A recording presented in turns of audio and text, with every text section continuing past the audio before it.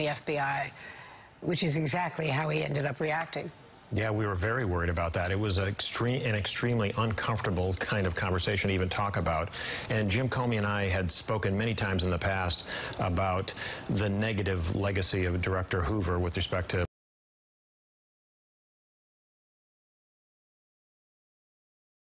things, you know, having to do with blackmail and that type of thing. J. And we- Hoover.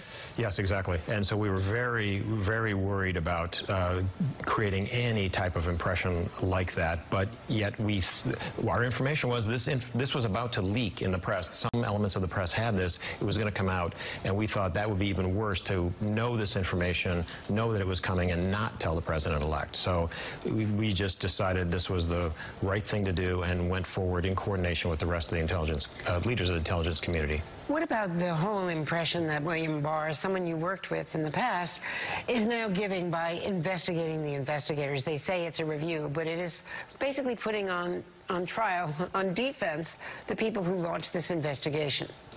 So we all recognize, especially Jim Comey and I have spoken many times about the need to hold us accountable, to hold the FBI accountable. The FBI has a lot of power and responsibility and needs oversight. It, it needs it. And I've had many reviews uh, conducted by the Inspector General in the past and, and others and welcome that. It seems strange to say that, but we welcome that. And so, you know, the Attorney General needs to be comfortable that the that the agency has the right policies, procedures, protections in place to make sure that, that the Bureau is doing a good job. And so he's entitled to conduct legitimate review. Um, Rod Rosenstein, now that he's left the Justice Department, has called Jim Comey a partisan pundit. Um, has Comey been too out front He's a private citizen with First Amendment rights like the rest of us and uh, can say what he wants to say. That's, that's what I, I guess I would say about that.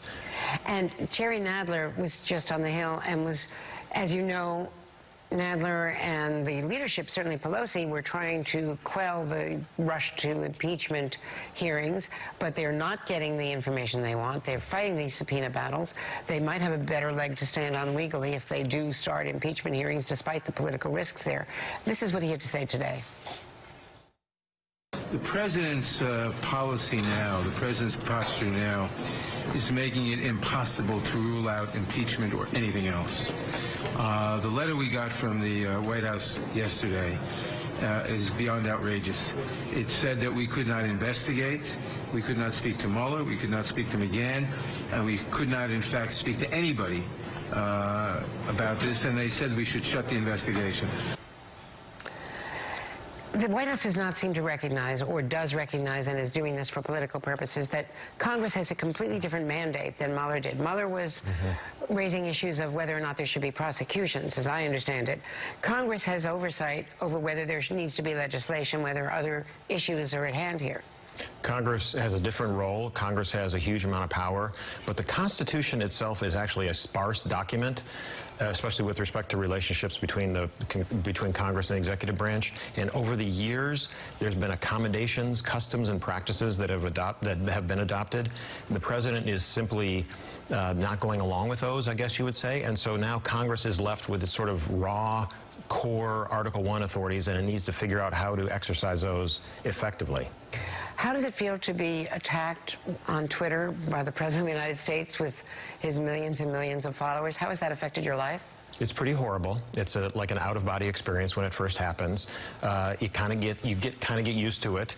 Uh, I guess uh, it did have an effect on my uh, on my career because some uh, potential employers said to me, "Jim, we like you. We'd be happy to hire you, but you're too controversial." So it had that effect. The final thing, though, is it it actually did. It was very rewarding in a strange way because friends of mine stood up for me uh, in a variety of formats, and so it was wonderful. It was almost like a Jimmy Stewart moment at the end of "It's a Wonderful Life" for me. Just like extremely emotional for me in terms of friends standing up. So that was that was the great and weird downs or uh, the great and weird upside of it.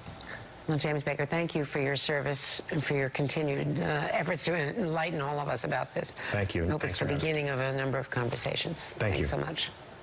And we have some good news to report about America's oldest former